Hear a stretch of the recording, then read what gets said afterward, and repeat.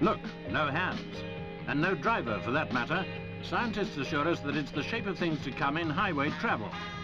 This robot car is the latest project under study by the Road Research Laboratory. It's all done by computerized electronic impulses relayed to the car through a special receiving unit fixed to the front. Signals picked up from the inlaid track are interpreted by the unit to change the car's course or its speed, rather similar to the automatic pilot system used in aircraft.